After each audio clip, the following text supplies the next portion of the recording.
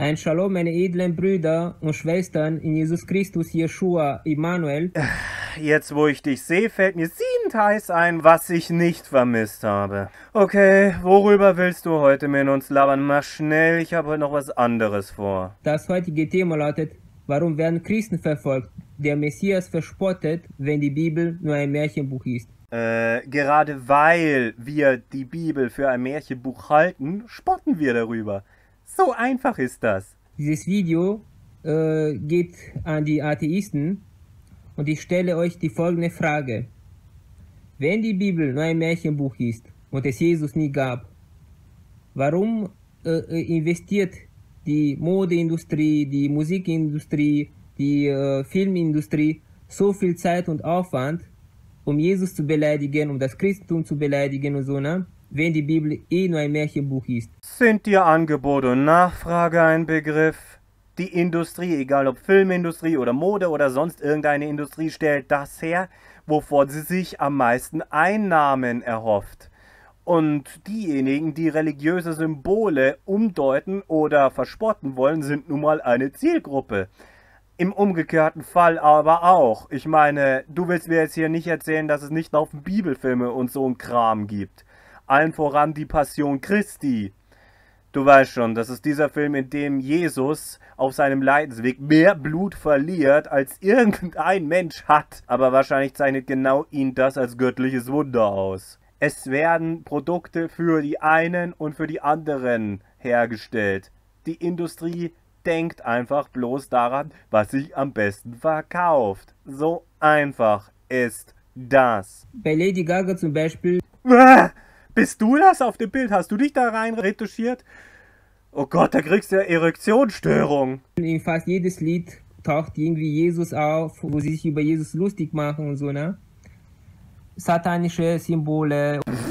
Satanische Symbol, das ist eine Hieroglyphe, du intellektuelle Energiesparlampe. Ich meine, mir ist schon klar, dass du heidnische Symboliken alle als satanisch betrachtest. Aber gilt das jetzt allen Ernstes auch noch für die Schriftzeichen anderer Kulturen? Beim würgenden Wolpertinger, das darf doch wohl nicht wahr sein. Äh, wie äh, die für die Verspottung Jesu Christi steht. Die Satanisten tragen das auch am Hals und so. Das der Auge und so. Überall wird Jesus äh, äh, äh beleidigt. Und ich frage euch, warum wird Jesus und den Christen so viel Aufmerksamkeit von diesen Industrien ja, äh, geschenkt. Wie ich schon sagte, weil die Geld verdienen damit. Das sowieso alles nur ein Märchenbuch ist, ja.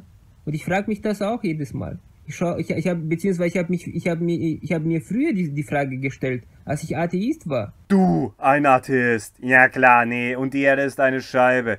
Du warst nie ein Atheist. Warum ich das sage? Ganz einfach, weil du in deinen Videos erstens uns eindrucksvoll immer wieder zeigst, dass du keinen Schimmer hast, wie ein Atheist denkt. Du scheiterst kläglich bei Versuchen, dich in Atheisten und ihr Denken hineinzuversetzen.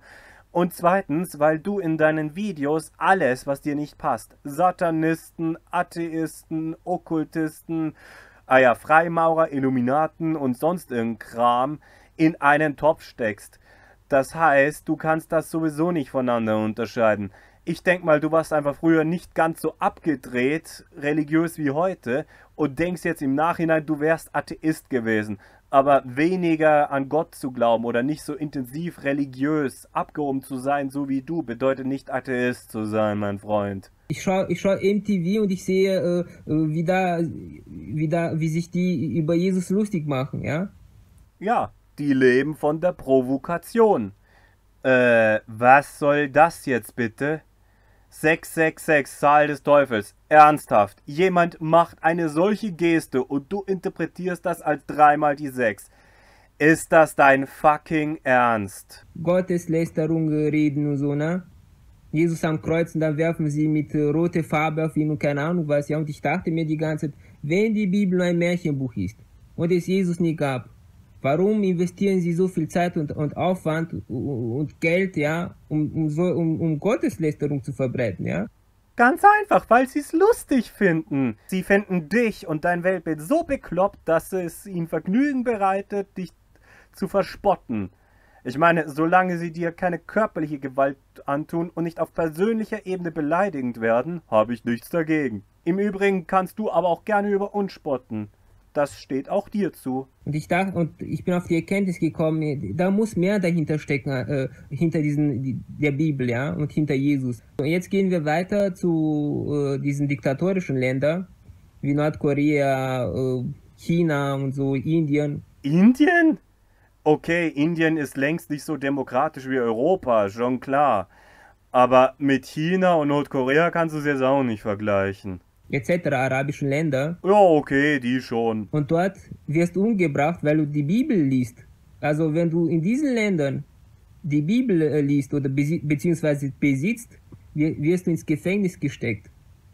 Ausgepeitscht, äh, äh misshandelt und so, ne? Und ja, du darfst nicht einmal beten öffentlich, ja, zu, zu, zu dem Gott der Christen, ja. Du wirst so, sofort ins Gefängnis gesteckt, ja. Und natürlich auch misshandelt, bei lebendigem Leibe äh, angezündet, ja. Und ich habe mir auch damals die Frage gestellt, wenn, wenn die Bibel nur ein Märchenbuch ist, wenn es Jesus nie gab, wa warum haben diese Diktatoren so viel Angst vor Christen? Die haben keine Angst vor Christen, die haben generell vor jedem Schiss, der eine andere Weltanschauung vertritt als die, die in diesem Staat Staatsräson, Staatsfassung ist. Denn diese Staaten haben eine bestimmte Weltanschauung, auf der der Machtanspruch ihrer Machthaber beruht. Deswegen verfolgen die alles und jeden, nicht nur Christen. Mach die Probe aufs Exempel. Du könntest in den arabischen Staaten auch ein Jude oder ein Atheist sein oder ein Hindu oder sonst was. Alles, was nicht genau die Art von Islam ist, die in diesem jeweiligen Staat gepredigt wird, das ist verboten und steht in Konkurrenz zur dominierenden Weltanschauung. Das hat nichts damit zu tun, dass du die Bibel liest, sondern nur damit, dass du anders tickst als die. Die haben Angst vor jedem, der weltanschaulich zu ihnen als Konkurrenz treten könnte. Warum, warum stört sie das? Weil sie die Bibel lesen, ja? Sei ehrlich, lieber Atheist. Wärest, wärest du ein Diktator in Nordkorea? Das werde ich nie sein, weil ich durch und durch Demokrat bin und ich gewähre dir selbstverständlich das Recht zu reden und zu denken, was du willst. Gut, du denkst sowieso nicht viel, aber lassen wir das mal. Und in deinem Land würden Christen friedlich leben. Würde es dich stören, nur weil sie, äh, nur weil sie äh, die Bibel lesen? Nö. Würdest du dir nicht etwa sagen, ach, ist mir doch egal, die sollen doch ihr Märchenbuch lesen, äh, Hauptsache sie sind friedlich? Ja, genau das würde ich sagen. Aber ich bin ja auch ein Demokrat und kein Diktator. Ich würde so denken. Aber diese Diktatoren, ja, in diesen Ländern, die denken aber nicht so.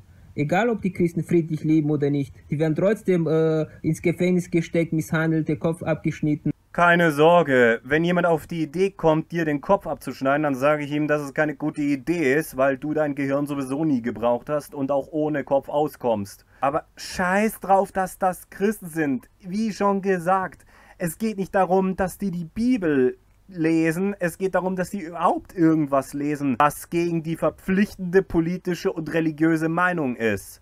Darum geht es in diesen Diktaturen. Warum? Weil sie Angst haben. Sie wissen, dass die Bibel kein Märchenbuch ist.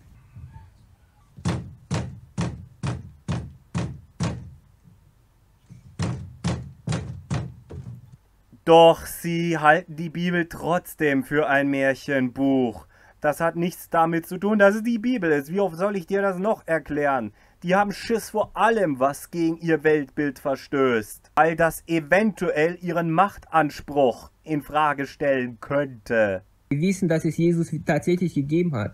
Das hat nie irgendjemand bestritten. Bestritten wird bloß, ob das, was in der Bibel über Jesus so geschrieben steht, wirklich wahr ist, zumal sich die Berichte oder die Erzählungen gegenseitig widersprechen. Sonst würden sie ja nicht so gegen die Christen, so hart gegen die Christen vorgehen, ja? Wer, wer geht gegen etwas vor, wenn es, wenn es sowieso nicht wahr ist, oder? Wenn, es, wenn etwas nur ein Märchenbuch ist, ja, und, und Jesus es nie gab, vor, vor was haben diese Diktatoren so viel Angst? Soll ich wirklich mich nochmal wiederholen, Leute? Ich glaube, ich erspare euch das, oder? Fangst an, öffentlich zu beten, sofort Gefängnis, Knast. Warum? Du besitzt zu Hause eine Bibel. Wenn sie das herausfinden, sofort wirst du mitgenommen, ins Gefängnis gesteckt, vielleicht auch ermordet, ja? Wenn du Pech hast. Warum? Warum das Ganze? Weil du dann so eine Art Opposition zu ihnen bist. Sollen sie doch hier ihr Märchenbuch ausleben, wie sie wollen, ja? Ja, das sind demokratische Vorstellungen, aber in einer Diktatur gilt das halt nicht. Leider nicht. Sie, wenn, wenn sie niemanden was, niemanden äh, wehtun, oder? Das wäre doch deine Denkweise, oder? Richtig, das wäre meine Denkweise und die Denkweise eines jeden, der nicht ein komplettes Arschloch ist. Aber ein Diktator ist nun mal ein komplettes Arschloch. Und äh, meines Erachtens, Silvio, rede und denke, was du willst. Aber du musst damit klarkommen, dass andere sich dann über dich lustig machen. Das Recht hast du umgekehrt auch. So einfach ist das. Ich jedenfalls werde jederzeit für dein Recht, das, was du sagen willst und das, was du denkst, auch wenn das nicht viel ist, ich werde jederzeit dafür eintreten, dass du das denken und sagen darfst, auch wenn ich mich über dich lustig mache. Ich Atheist, ich würde auch so denken. Mir wäre es egal, sollen sie doch ihr Märchenbuch leben. Hauptsache, sie leben friedlich und tun niemandem weh. Aber die sind nicht so. Und ich habe schon damals, ich habe schon mir schon damals äh, diese Frage gestellt. Da muss hinter der Bibel und hinter Jesus muss mehr hint äh, dahinter stecken, außer Märchenbuch und so das Ganze, ne? Also, weil in anderen Ländern, in denen andere Weltanschauungen, Ideologien oder Religionen als das Christentum vertreten sind, Christen verfolgt werden, weil sie eine Art Opposition darstellen. Daraus schlussfolgerst du, dass ausgerechnet aus der Bibel, dass hinter der Bibel und hinter keinem anderen Buch irgendwie mehr Wahrheit oder so dahinter steckt. Und ignorierst vollkommen, dass andere Gruppen dasselbe Schicksal haben wie die Christen in diesen Ländern. Nach deiner eigenen Logik müssten die Atheisten recht haben, weil sie sind ja schließlich von den Christen früher verfolgt und verbrannt oder sonst was worden. Oder die Maya und die Azteken, nach deiner Logik müssten die doch eigentlich recht gehabt haben, weil die Inquisitoren gewusst haben müssen, dass das, was die glauben, doch wahr ist, sonst hätten sie sie nicht verfolgt. Na dann, wir halten fest, Bruder Silvio ist dasselbe Genie wie eh und je. Dann war's das jetzt auch schon wieder, Leute. Ich sage Tschö mit Ö, Ciao mit Au. Und bevor ich sage, dass ihr euch alle aufhängen könnt, kündige ich an, dass es am Freitag wieder einen solchen Plausch geben wird wie diesen Freitag. Der ist ja ganz gut angekommen. Deswegen wird es nächsten Freitag wieder ein Gespräch geben, das ich hochladen werde. Diesmal wird es ums Thema Religion gehen. Und wir sind darin zu dritt, vielleicht sogar zu viert. Also man hört sich. Und wenn alle Stricke reißen, kann man sich immer noch aufhängen.